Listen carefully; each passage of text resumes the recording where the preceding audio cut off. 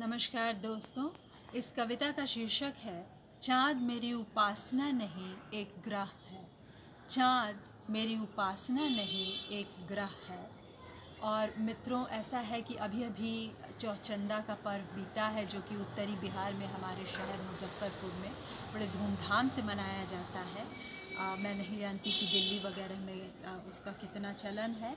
और यहाँ पर ही बिहार का ही पर्व है छठ जिसमें खरना चाँद के लिए दिया जाता है वह अर्घ्य। तो रात में वह भी पूजा होती है। और यूँ भी ईद हम सब जानते हैं बहुत से पर्व हैं जो चाँद के इर्द गिर्द हैं। बहरहाल अभी अभी जबकि हमने अपना सैटेलाइट अपना ग्रह उपग्रह भी भेजा था चाँद तक तो आ, बड़ा सही मौका है इस कविता को सुनने का। चाँद मेरी उपासना नहीं, एक ग्रह है। अधिक ऊर्जा, अधिकाधिक काम की लड़ाई लिए।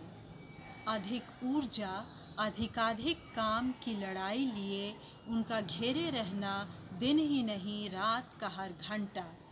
उनका घेरे रहना दिन ही नहीं, रात का हर घंटा, दिन का खाना, रात का सोना, रात की अद्भुत शांति में जब खिड़की के बंद पल्ले के भीतर भी छन छन कर आ रही हो चांदनी। जब खिड़की के बंद पल्ले के भीतर भी छन छन कर आ रही हो चांदनी, उनका पकड़ा देना सब बिगड़े कामों की लिस्ट।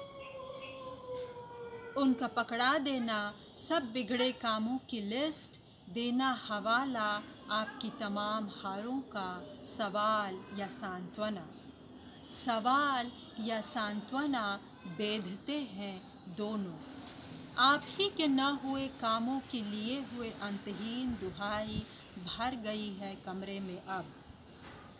आप ही के न हुए कामों की अंतहीन दुहाई भर गई है कमरे में अब और अचानक गायब हो गई है चांदनी।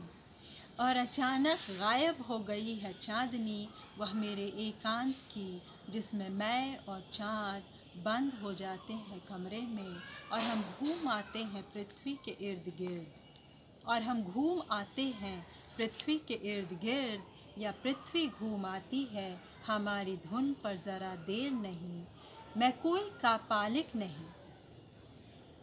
मैं कोई का पालिक नहीं, न कोई श्मशान जागरण है। चाँद की रोशनी के चारों ओर मैं केवल एक कलाकार हूँ। चाँद मेरी प्रेमिका, उसके साथ होते भी क्या संभव है कोई हार?